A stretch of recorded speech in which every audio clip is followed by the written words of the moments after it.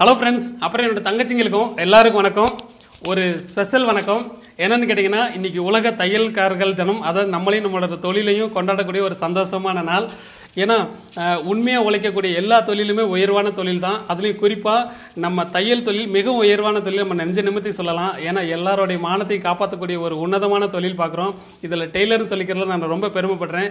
இந்த நேரத்தில் என்னோட சகோதரிகளுக்கும் என்னோட நண்பர்களுக்கும் எல்லாருக்குமே தையல் தொழில் சார்ந்த எல்லாருக்குமே என்னோட வாழ்த்துக்களை நான் தெரிவிச்சுக்கிறேன். ஏன்னா நம்ம எவ்வளோ கஷ்டப்பட்டாலும் சரி ஒரு யாரோட ஆதரவும் இல்லாமல் ஒரு நடுத்தரில் நிற்கிற மாதிரி ஒரு சூழ்நிலை வரும்போது இந்த தையல் தொழில் வந்து நமக்கு கை கொடுத்து நம்ம ஒரு உயர்வான நிலைக்கு கொண்டு போகுங்கிறதுக்கு நான் உதாரணம் இருக்கேன். அதனால் இந்த தையல் தொழிலை எல்லாரும் பழகிக்கோங்க. ஏன்னா இது நல்ல கை கொடுக்கும். ஒரு ஒரு ஆதரவற்ற ஒரு பெண்களாக இருந்தாலும் சரி கணவனை இழந்த பெண்களாக இருந்தாலும் சரி தான் குழந்தைகளை நல்லா படிக்க வைக்கணும்னு ஒரு கஷ்டப்படுற ஒரு சூழ்நிலை இருந்தாலும் சரி தான் குடும்பத்தை ஒரு நல்ல நிலைமை கொண்டு போகணும் நினைக்கக்கூடிய ஒரு ஆண்மகனாக இருந்தாலும் சரி எல்லாத்துக்குமே இந்த தையல் தொழில் வந்து நல்ல சப்போர்ட் பண்ணி ஒரு கை கொடுக்கக்கூடிய தொழில். அது எல்லாருக்குமே தெரிஞ்சது தான் இருந்தாலும் இது தெரியாதவங்க தெரிஞ்சுக்கிட்டு இந்த தொழிலில் நீங்கள் பழகி நல்ல ஒரு முன்னேற்றத்தை காணுங்கிறது என்னோட ஆசை. என்னோட வாழ்த்துக்கள். இன்றைக்கி இந்த தையல் தொழில் அதுமா உங்கள் எல்லார்ட்டையும் நான் வாழ்த்துக்களை சொல்கிறேன் ரொம்ப நான் ரொம்ப சந்தோஷப்படுறேன். அப்புறம் இன்றைக்கி நம்ம வீடியோவில் ஒரு பட்டு சேலைக்கு ஒரு சிம்பிளாக தான் மாடல் போட போகிறேன் மாடல் சிம்பிளாக தான் இருக்கும். ஆனால் நம்ம அதில் வைக்க போகிற ஒர்க் வந்து கொஞ்சம் எம்போசிங்காக கொஞ்சம் எடுத்து காமிக்கிற மாதிரி இருக்கும். மாடல் சிம்பிளாக இருக்கும். அதாவது நீங்கள் புதுசாக பழகிறவங்க போடுறதுக்காகவே இந்த சிம்பிளான மாடல் நான் போடுறேன். கண்டிப்பாக நீங்கள் ட்ரை பண்ணி பாருங்கள் பார்த்துட்டு எனக்கு கமெண்ட் பண்ணுங்கள் முடிஞ்சால் நீங்கள் தச்சது ஃபோட்டோ எடுத்து என்னோட ஃபேஸ்புக்கில் போடுங்க. ஏன்னா இது இந்த இந்த பட்டு சேலைக்குரிய ப்ளவுஸ் வந்து பிளெயினாக கிடையாது. சேலையும் ஃபுல்லாக டிசைன் இருக்குது அது மாதிரி மாதிரி ப்ளவுஸ்லையும் ஃபுல்லாக டிசைன் கொடுத்துருக்காங்க. அப்படின்னும் போது நம்ம என்ன டிசைன் பண்ணாலும் அது எடுக்காது. ஒரு பிளைனாக இருந்து அதுக்கு மேலே கொஞ்சம் டிசைன் கிளாத்தை நம்ம பதிச்சோம்னா தான் கொஞ்சம் டிசைன் கொஞ்சம் எம்போசிங்காக தெரியுற மாதிரி இருக்கும். இது ப்ளவுஸ் ஃபுல்லாக ஒரு டிசைனிங்காக இருக்குது அந்த ப்ளவுஸ் தான் வேணும்னு அந்த கஸ்டமர் சொல்லிட்டாங்க. அதனால் அதில் என்ன பண்ண முடியுமோ அது மாதிரி சும்மா அந்த பார்டர் வச்சு சிம்பிளாக பண்ணிட்டு கொஞ்சம் ஸ்டோன் ஒர்க் பண்ணி அதை கொஞ்சம் கொஞ்சம் பளிச்சு நாடி ஆக்கிடலாம். ம்? இப்போ அதை நீங்களே ட்ரை பண்ணி பாருங்கள் பார்த்துட்டு எனக்கு சொல்லுங்கள் இப்போ வீடியோக்குள்ளே போகலாமா வாங்க போகலாம்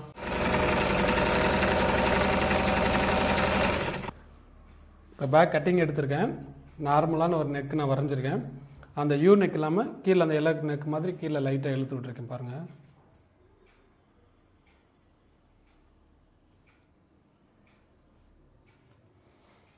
லைட்டாக கீழே ஒரு பாயிண்ட் எடுத்திருக்கேன்னா இந்த பாயிண்ட்லேருந்து ஒரு அரை இன்ச்சு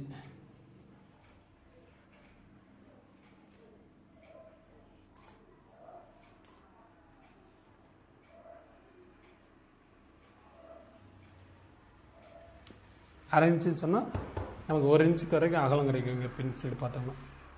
இந்த பாயிண்ட் அப்படியே கீழே கொண்டு வந்துருங்க. இது ரெண்டு பார்ட்டாக தனித்தனியாக தைச்சிட்டு சென்டரில் வந்து நம்ம ஏதாவது கோல்டு கலர் சேர்த்துக்கலாம்.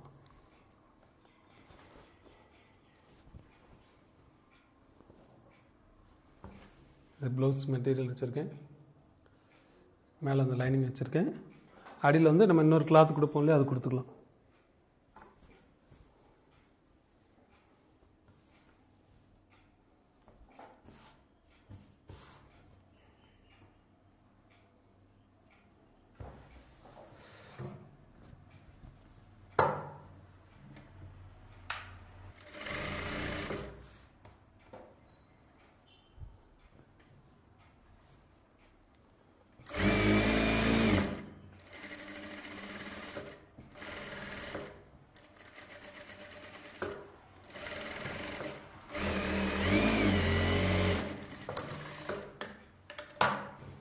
அதே மாதிரி இந்த சைடும்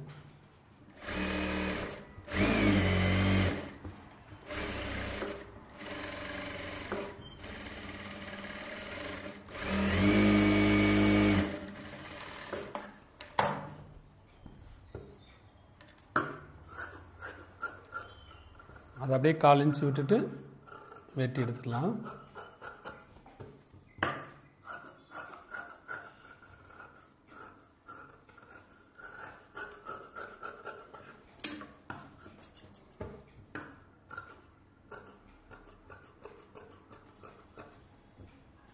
இந்த ரவுண்டுகிட்ட பூரா அர்க்கத் பண்ணிக்கோங்க.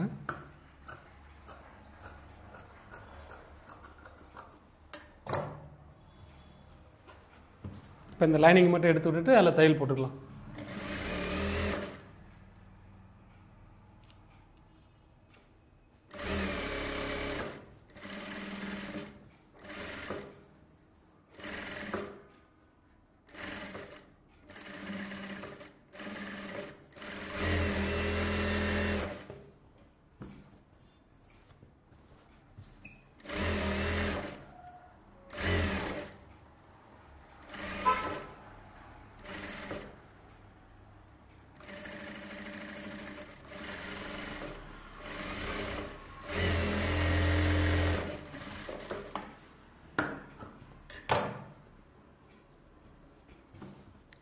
ஓரத்தில் எஜிடெயில் போட்டோம் இல்லையா? போட்டுட்டு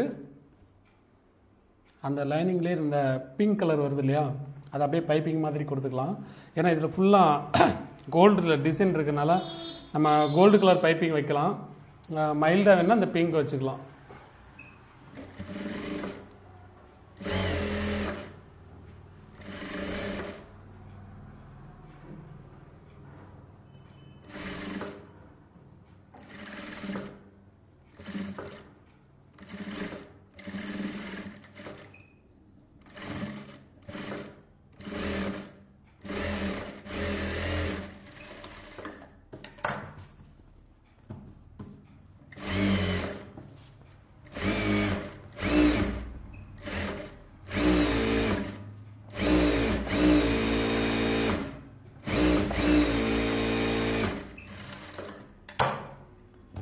பேக்கில் உள்ள லைனிங்கில் தையல் போட்டுட்டேன்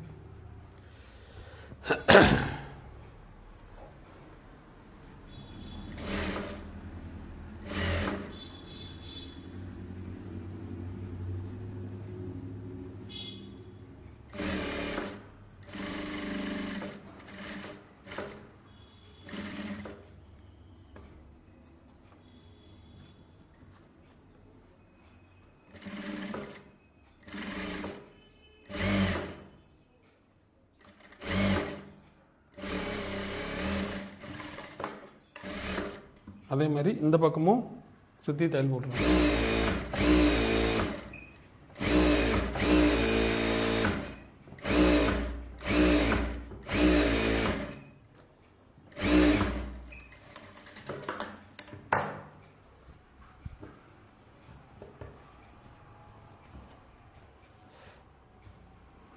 இப்போ வந்து இந்த நெக் இருக்கு இல்லையா? நம்ம எவ்வளோ பீஸ் அதில் கட் பண்ணி எடுத்தோமோ அதுக்கு தகுந்த மாதிரி அகலப்படுத்தி அகலப்படுத்திக்கோங்க. இல்லையா சாதாரண சிம்பிளாக தைக்கணும். ஒரு சின்ன கோல்டு கலர் வச்சுட்டு ஒரு ஒரு முக்கோணம் மாதிரி அங்கங்கே ஒரு பாயிண்ட் வேணும் வச்சுக்கோங்க. அது கொஞ்சம் சிம்பிளாக இருக்கும்.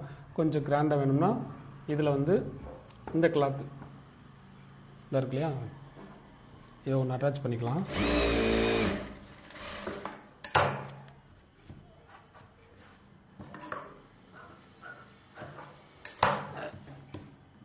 இதில் அட்டாச் பண்ணிவிட்டு இதில் வந்து ஒரு ரவுண்டு ஷேப் எடுத்துகிட்டு அதுக்கப்புறம் இது பண்ணிக்கலாம். ம்?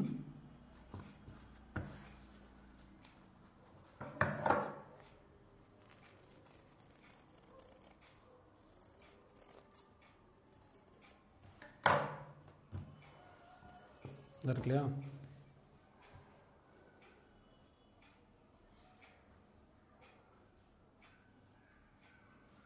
இந்த மாதிரி ஒரு ரவுண்ட் ஒன்று எடுத்துக்கிட்டு அதுக்கப்புறம் அதில் ஒரு சின்ன சின்ன இது வச்சுக்கலாம். டிசைன் வச்சுக்கலாம்.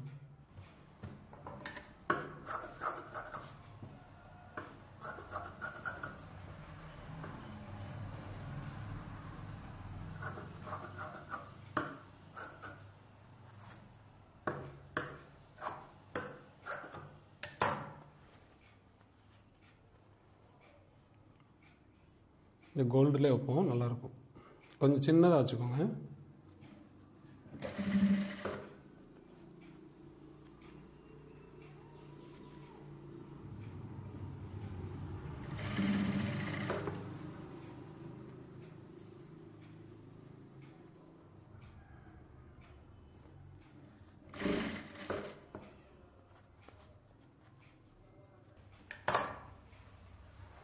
இந்த அஞ்சு பீஸு கரெக்டாக சென்டர் கனெக்ட் பண்ணி அப்படியே தலைகீழ வைங்க. சென்டர் பீஸ்னால் ஒன்று ஃபஸ்ட்டு வச்சுக்கோங்க. சென்டர் கனெக்ட் பண்ணுறதுக்கு ஃபஸ்ட்டு ஒன்று வச்சுக்கோங்க. அப்புறம் மீதி அந்த பக்கம் ரெண்டு இந்த பக்கம் ரெண்டு வச்சுக்கோங்க.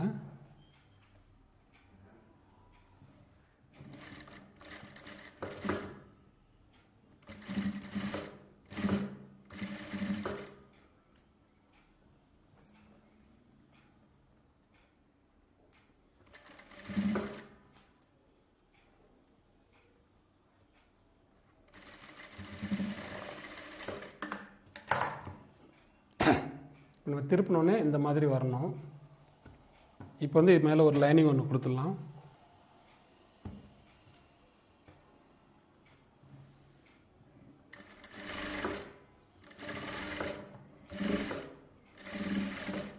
உங்களுக்கு எந்த அளவுக்கு அந்த முக்கோணம் இது பெருசாக வேணுமோ அதுக்கு தகுந்த மாதிரி தையல் போட்டுக்கோங்க. ஃபஸ்ட்டு கொஞ்சம் கம்மியாக போடுங்க. உங்களுக்கு அது கொஞ்சம் பெருசாக இருந்துச்சுன்னா திருப்பி பார்த்துட்டு இன்னொரு தையல் போட்டுக்கோங்க. இருக்கு இல்லையா? இவ்வளோ போதுமாக பாருங்கள் இல்லை இது பெருசாக இருக்குது அப்படின்னு நினச்சிங்கன்னா அதுக்கப்புறம் இன்னொரு தையல் போடுங்க.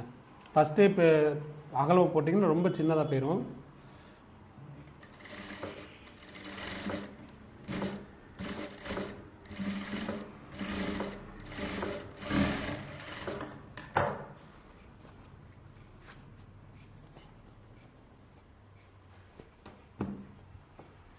இது அளவு போதுமான்னு பார்த்துக்கோங்க. பார்த்துட்டு அதுக்கப்புறம் தையல் போடுங்க. ஓகேவா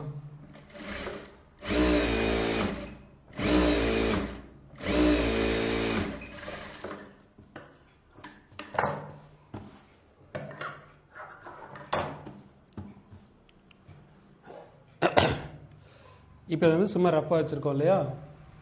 இப்போ இதில் வந்து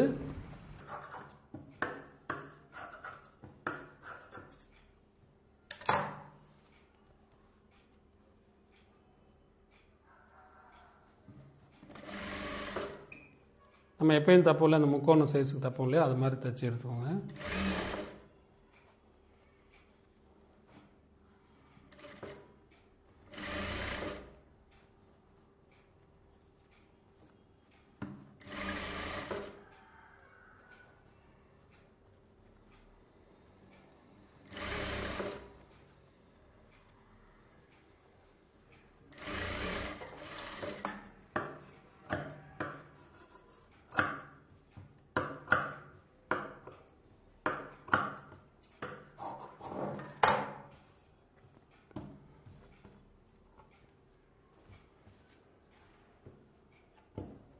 ஒரு மார்க் பண்ணிக்கோங்க.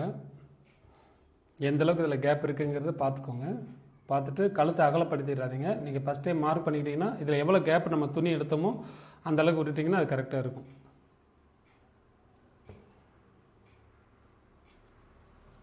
அடையாளத்துக்குன்னா ஒரு மார்க் பண்ணிக்கோங்க.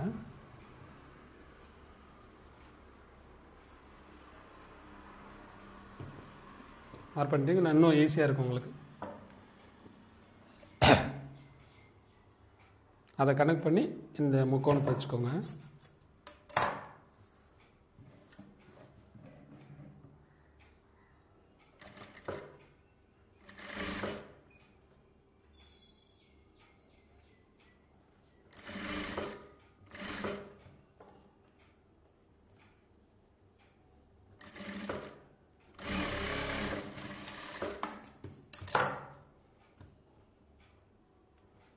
அதே மாதிரி இந்த பாயிண்ட் இருக்கு. இப்படி வச்சிங்கன்னா அது ஒரு மாடல் உங்களுக்கு பிடிச்ச மாதிரி இருக்கும்.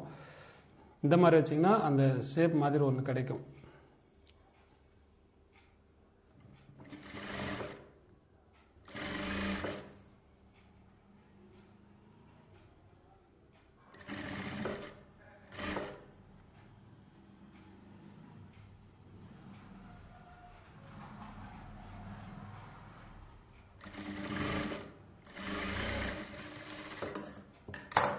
இல்லை உங்களுக்கு எந்த மாதிரி வேணாலும் வச்சுக்கலாம். இது வந்து கொஞ்சம் அப் அண்ட் டவுனாக இருக்கும் இல்லையா? தச்சதுக்கப்புறம் மாட்டி நடுவில் வந்து நமக்கு ஒரு மாடல் மாதிரி கிடைக்கும். இந்த ஒரு மாதிரி இந்த இதிலே இந்த கோல்டே நமக்கு ஒரு டிசைன் மாதிரி கிடைக்கும். இப்போ நான் இதை அப்படியே நான் பதிச்சிடுறேன்.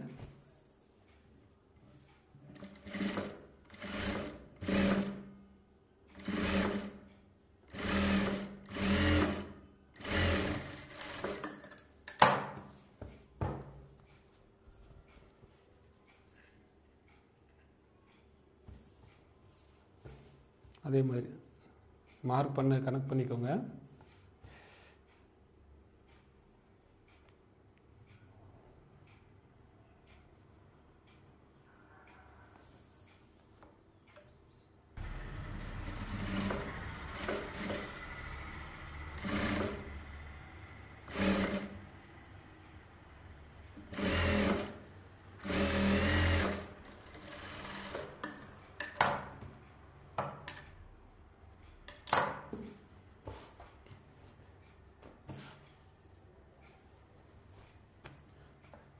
இதை முடிச்சுட்டு நெக்கை லைட்டாக செக் பண்ணிக்கோங்க. அந்த ரெண்டு நெக்கும் கரெக்டாக இருக்கான்னு பார்த்துக்கோங்க. ஏன்னா நம்ம தைக்கும்போது லைட்டாக மார்க் பண்ணும்போது கூட டிஃப்ரெண்ட் வந்துருச்சுன்னா இப்போயே செக் பண்ணிட்டீங்கன்னா பிரச்சனை இல்லை. பார்த்துட்டு நீங்கள் அதை சைஸ் பண்ணிக்கலாம். இல்லை தையல் வந்து நீங்கள் ரெண்டு தையல் போட்டுக்கோங்க.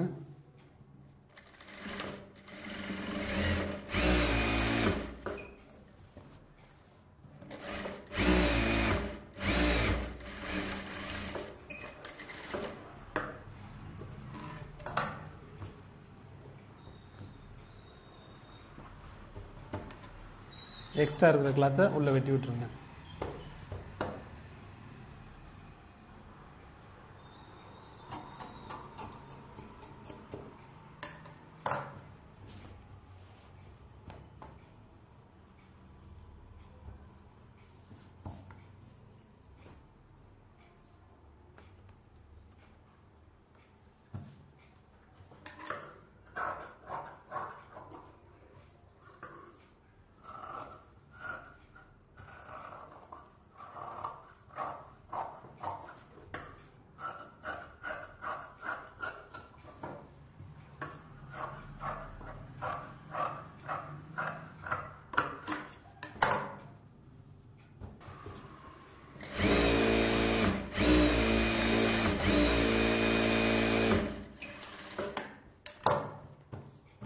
இப்போ இதில் வந்து நம்ம இந்த பைப்பிங் வைக்கல இல்லையா?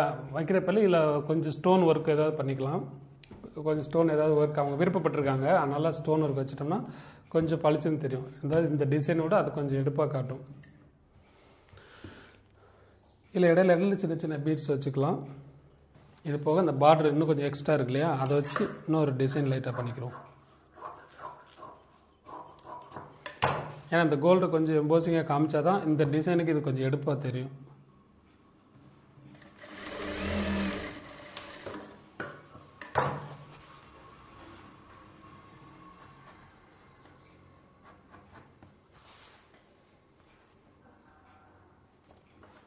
ஒரு சைடெல்லாம் மடித்து ஓரத்தில் எஜ்ஜு தையல் போட்டுக்கோங்க.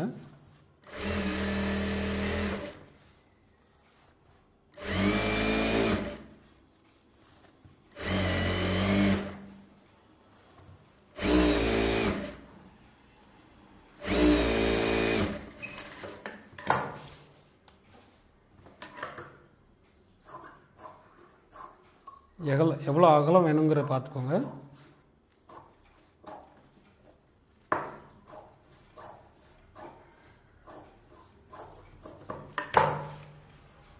பார்த்துட்டு இதுலேருந்து ஒரு டிராயிங் போட்டுக்கோங்க. இந்த இதுலேருந்து ரெண்டு ரெண்டு ஃப்ளீட் வைக்க போகிறேன் சப்போஸ் இதே ஃப்ளீட் வந்து நீங்கள் இதுலேயே கூட ஒரு சைடு வைக்கலாம். அதுவும் நல்லாயிருக்கும். ஆனால் நான் இந்த சைடு நான் வைக்கிறேன்.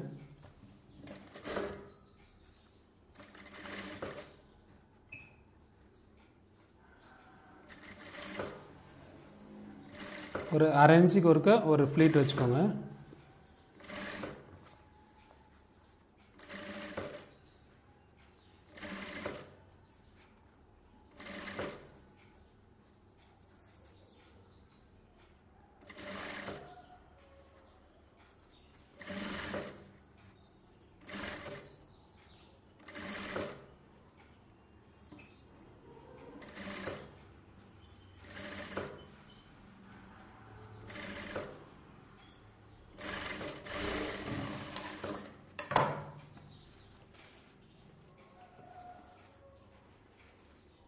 வீட்டை தான் நான் இந்த மாதிரி வைக்க போகிறேன்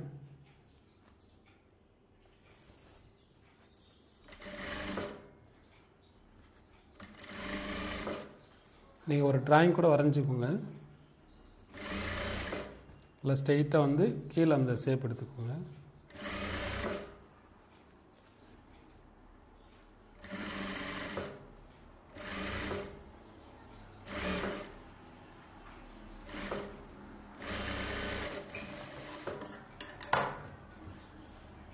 இல்லையா?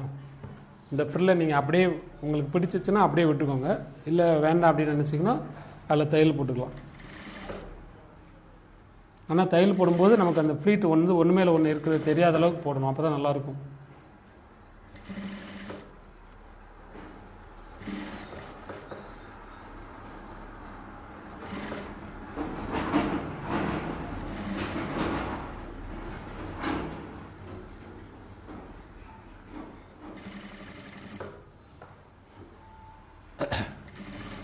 அந்த ஃப்ளீட் வந்து உள்ளே எடுத்து எடுத்து உள்ளே தள்ளி விட்டீங்கன்னா இது அப்படியே ஒன்று போல் வந்துடும்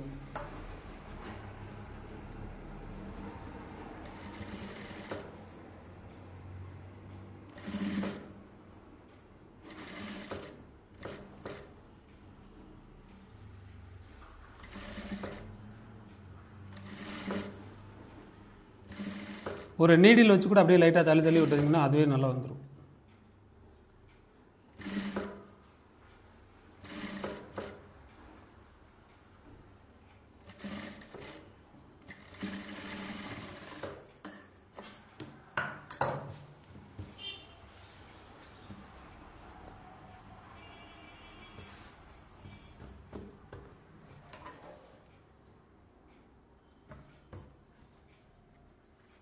இந்த பிசுறு கொஞ்சம் எடுத்துக்கோங்க.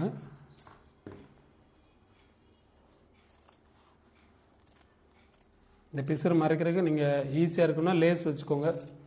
சும்மா லைட்டாக இதே கலர் கிடச்சின்னா plain லேஸ் வச்சுக்கோங்க. இல்லைன்னா இந்த கிளாத்லேயே வச்சு பதிச்சிடலாம்.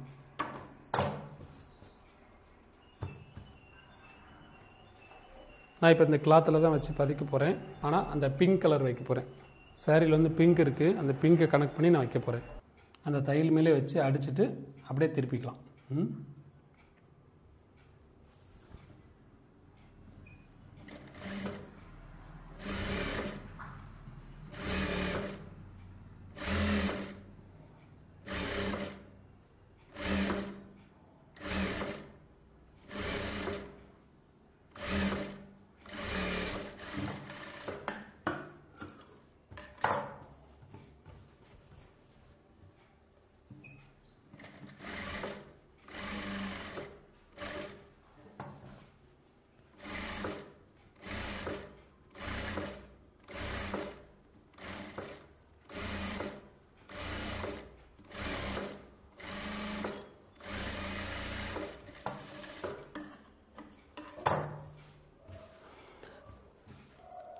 அதான் நீட்டாக வந்துருச்சா?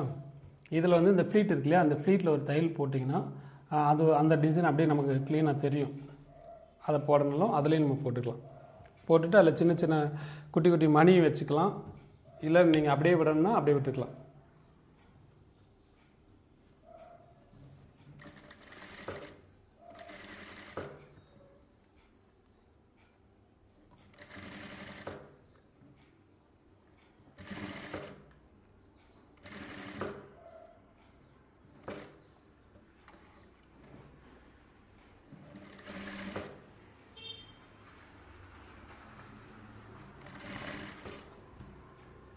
இந்த மாதிரி வச்சோன்னா நம்ம வச்ச அந்த டிசைன் வந்து கொஞ்சம் எடுத்து காமிக்கும்.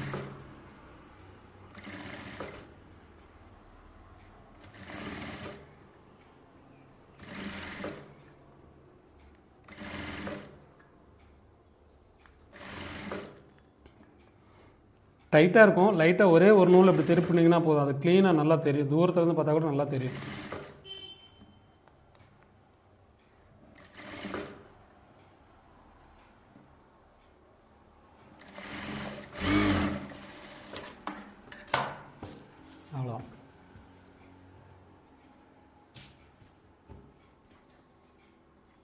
சென்டரில் இங்கே ஒரு பேட்ச் வைக்க போகிறோம் அதுக்கு முன்னாடி கீழே பாட்டத்தை அடிச்சிடலாம் இடுப்புக்கு.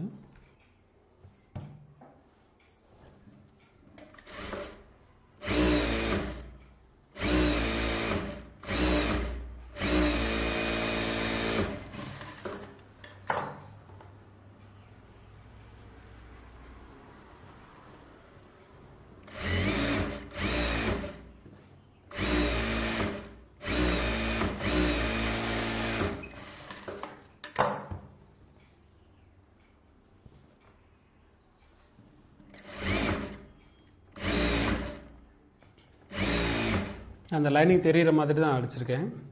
சும்மா நமக்கு ஒரு அவுட்லைன் மாதிரி கிடைக்கும் இல்லையா? இல்லை இந்த கோல்டு கலரில் கூட நீங்கள் பைப்பிங் வச்சுக்கலாம். அதுவும் நல்லாயிருக்கும்.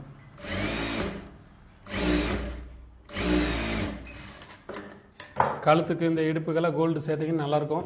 ஆனால் எனக்கு வந்து அது ரொம்ப ஒரு மாதிரி பளிச்சுன்னு தெரியுமோன்னு தோணுது. அதனால தான் நான் அந்த மைல்டாக இதை வைக்கிறேன். அப்போ இந்த டிசைன் கொஞ்சம் எடுத்து காட்டும். இதுக்கு மேலே ஒர்க் வைக்கும்போது இன்னும் கொஞ்சம் நல்லாயிருக்கும். உள்ளே வந்து மடித்து எம்மிங் பண்ணிக்கோங்க.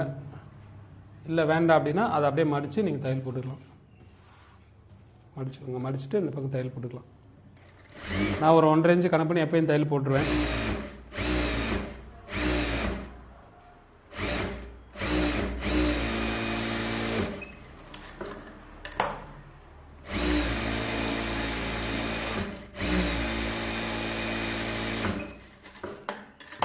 ஒன்றும் இல்லை நான் நாலு தையல் போட்டுருவேன். ஏன்னா அது அப்படியே எனக்கு பழக்கம் ஆயிடுச்சு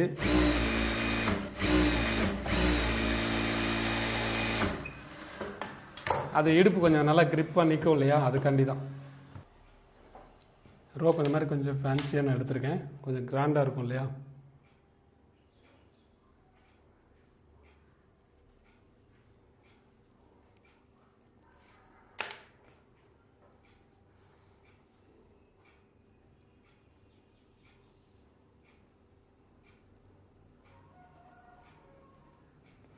இப்போ இது மாதிரிலாம் டிசைன் டிசைன் நிறைய வருது. ஃபேன்சிக்கும் நல்லாயிருக்கும். இது மாதிரி பட்டு இதுக்கும் நல்லாயிருக்கும். சேலை ஆரஞ்சு கலர்னால இந்த ஆரஞ்சு நான் வச்சுருக்கேன். ஆரஞ்சும் க்ரீனும் வருது சேரீயில். உங்களுக்கு சேரீ காமிக்கிறேன்.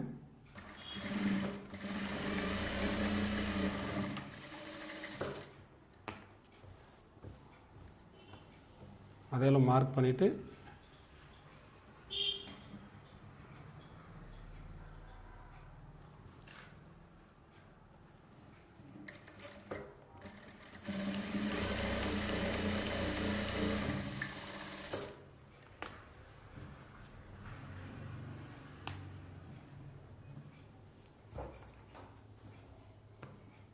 ரோப்லாம் நல்லா ஸ்ட்ராங்காக தைச்சிருங்க. ஏன்னா சும்மா லைட்டாக அந்த இடத்துல மட்டும் டாக் அடிச்சிங்கன்னா அது அப்படியே பிரிஞ்சு வந்துடும் சிலர் நல்லா இழுத்து டைட்டாக கட்டியிருப்பாங்க. அந்நேரம் டப்புன்னு பிஞ்சு போச்சுன்னா கஷ்டம். இந்த சென்டரில் வந்து உங்களுக்கு எந்த மாதிரி ஸ்டோன் பிடிச்சிருக்கோ அதை வாங்கி வச்சுருங்க. இந்த இடையில நீங்கள் எதுவும் ஒர்க் பண்ணணும்னா பண்ணிக்கோங்க. இன்னும் நல்லா லுக்காக தெரியும். இதில் சின்ன சின்ன பாசி வைக்கணும் அந்த மடிப்பில் மட்டும் ஒரு ஒரு பாசி வச்சிங்கன்னா அது இன்னும் லுக்காக உங்களுக்கு எடுத்து காமிக்கும். அப்புறம் இந்த முக்கோணத்துலேயும் சின்ன சின்ன பீட்ஸ் இது வைக்கணும் வைங்க கொஞ்சம் காஸ்ட்லியாக வைங்க. அப்போ தான் பட்டு சேலைக்கு எடுப்பாக தெரியும் பார்க்கறதுக்கு. சென்டரில் இந்த மாதிரி பேட்ச் இல்லாட்டி ரவுண்டாக வச்சுக்கோங்க. ரவுண்டாக இன்னும் நல்லாயிருக்கும். ரவுண்டாக உங்களுக்கு எந்த மாதிரி பிடிக்கோ அந்த மாதிரி வச்சுக்கோங்க. இதுக்குரிய saree நான் காமிக்கிறேன்.